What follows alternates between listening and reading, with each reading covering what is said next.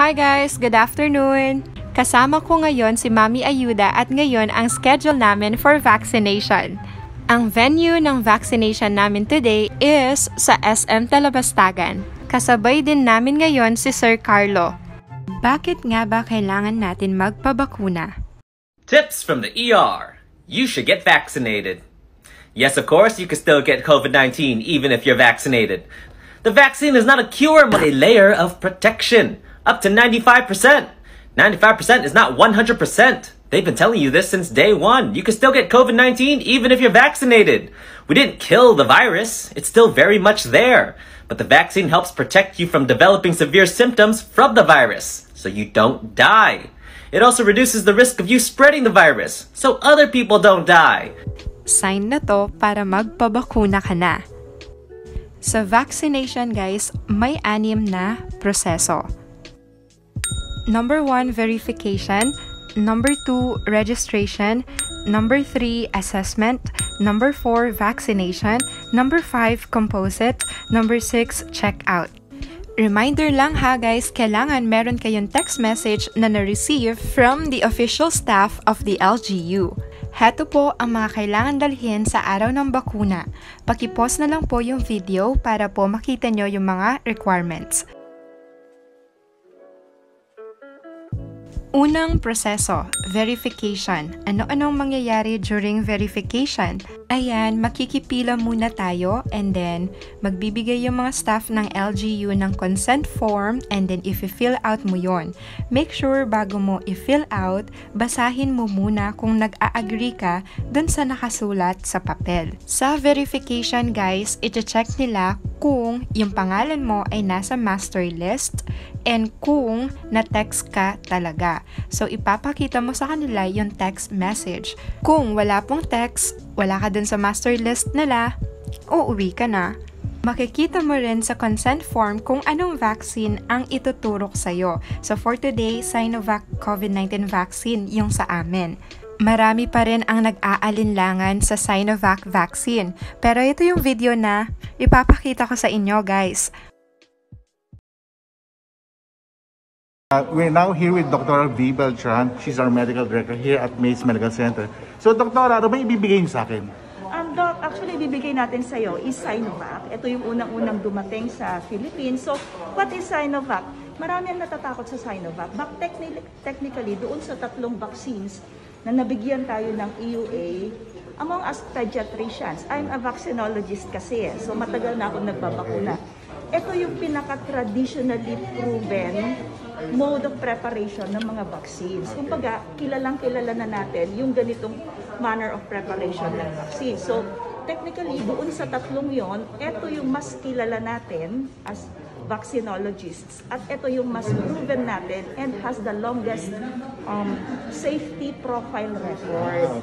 Yung technology ginamit sa kanya. Okay? With regards to effectivity, just the same as all other proven vaccines. Sabi nila, for mild, it's just, it will just give you 50% efficacy. However, 100% of the time, it will prevent you um, from having severe disease from COVID and 100% um, na mapaprevent niyang mamamatay ka dahil sa COVID. We are actually after that. Na, most vaccinologists will say, kung ano yung available na bakuna na safe, get it. Oh, 'di ba guys? Huwag na kayong matakot and get vaccinated now. So, nandito pa rin kami sa step 1, verification. Tumagal ito ng isa't kalahating oras. So, mas matagal dito sa verification, guys. Again, if wala kang text, hindi ka na text from the LGU, hindi ka na makakapasok sa loob. Dito pa lang sa verification, nga nga na. Pangalawang proseso, registration. Ano-anong mangyayari during registration? Dito, makikipila ulit guys. Wait for your turn. Dito po ipapakita yung QR code mo. I-validate yung information na in-encode mo nung nag-register ka. Again, sa step 2, tatanungin din nila kung nasaan yung text mo from the LGUs. Ipapakita mo rin sa kanila yung mga requirements na dinala mo. Pangatlong proseso, assessment. Tara, pasok na tayo sa cinema pero hindi tayo manonood ng sine ngayon. Magpapa-assess tayo if qualified nga tayong mabigyan ng bakuna. Ayan, iti-check yung oxygen level mo, temperature check, at saka yung blood pressure mo.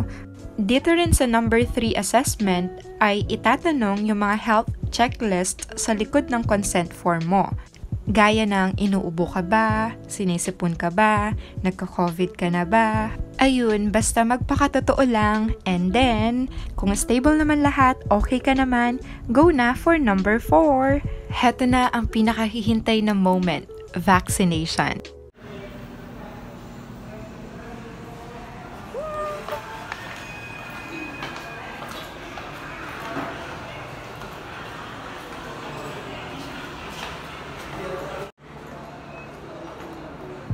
Ayan, so interview ulit dito guys. And hinga ka na ng malalim kasi dito na ituturok sa iyo ang COVID-19 vaccine. Nako, kailangan kong ma-videohan talaga to kasi, you know, momentous, historical moment to. Ayan, so inask ko si ma'am kung pwedeng mag-video. Sabi niya, okay naman. Ayan, itutusok na guys! Sanay na, sanay nang ma-vaccine. Ayun guys, ang bilis. Pinakamabilis to among all the steps. Number 5, observation and monitoring. Ito po, interviewin po natin si Mami Ayuda. Tapos na po siya. Hello po. Hi. Kumusta naman po yung pakaramdam, ma'am? Okay lang po. Hindi naman po masakit? Hindi naman. Nag-nervous po kayo? Hindi naman. Nilalamig lang. O, last full show na po. So guys, last full show na po. Joke lang po. Ito po, iti-check ulit kung meron ba nagbago sa blood pressure mo, sa oxygen level mo, sa temperature mo, lahat. Susulitin ko na rin yung pagkakataon na to na magpasalamat sa mga health workers natin, sa mga staff ng LGUs, and the government of City of San Fernando as well. Tunay nga sa kalusugan, nangunguna ang mga Fernandinos. Maraming maraming salamat po. Wala na, ano lang ito. Kuhanan ng Reminders card. lang. Okay po. Hi, Professor. Hi. Thank you, Ma'am. uh, Ma'am Raquel. So, dito guys, another monitoring ng blood pressure mo, oxygen level, temperature, kung meron bang nagbago after vaccination. And then, ibibriefing ka rin ni sir and i-remind ka sa second dose schedule mo. Thank you po. Babay na po kayo sa vlog. Bye-bye, Ma'am Raquel. Ingat po kayo lagi. Ah, bye-bye. Exit! Thank you po. Ayan. Bye, sir. Thank you po. Ayan, dinidouble check na lang ni sir. Okay po, maraming salamat. Thank you, sir. Safe na ba tayo after the first dose? Not yet. Not yet. It's not proven by research. So, on, after the second dose. After the second dose, I'll be safe. Two weeks after the second dose. Uh, two weeks after that. That's when I Kaya lang doc, when you say safe, you don't take off your mask ha? It just means na pag magka-COVID ka, hindi ka mamamatay. But yeah. Yun yung proven 100%. Ayan guys, so tapos na kaming ma-vaccine. After nyo, yung pinaka-after nyo, dito na kayo mag-selfie. Ito na. Ito Wow, ang sayo naman ni Mami Ayuda. Tapos na kami sa aming first dose ng Sinovac COVID-19 vaccine. Again, maraming maraming maraming salamat po sa mga health workers natin, sa mga security guards, sa lahat po ng staff ng LGUs, and also the government of the City of San Fernando for making this possible. Maraming maraming salamat din po sa SM City Talabastagan. Ay, interviewin naman natin ang ating kasamang Pangulo ngayon. Ayan, so na, Kumusta naman po, sir? medyo ano lang sa, ah, Mabigat. mm, ganun. May, May sumisingit, oh. Hello. Ito, tapos na. Kung kailan tapos, ninenervyo.